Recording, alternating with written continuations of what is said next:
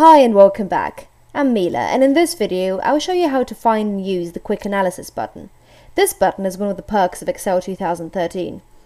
It allows you to analyze your data and preview formatting and other options with a single click and without searching in the ribbon. The suggestions made by Quick Analysis are always specific to the data range you select. For instance, you notice that Excel will suggest different charts for different types of data. To find Quick Analysis, first select the range of cells you would like to analyze.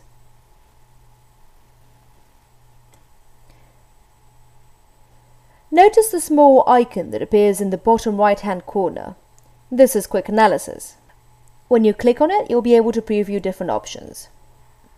The Formatting tab offers different options to highlight important data.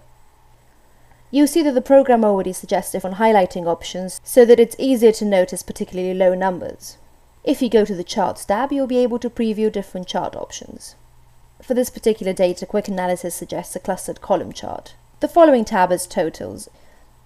Here you can see suggestions for different formulas to calculate totals.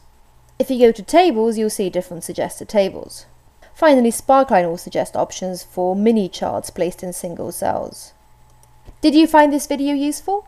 If so, please subscribe to our channel. And if you need help from an expert, contact us today at excel4business.com.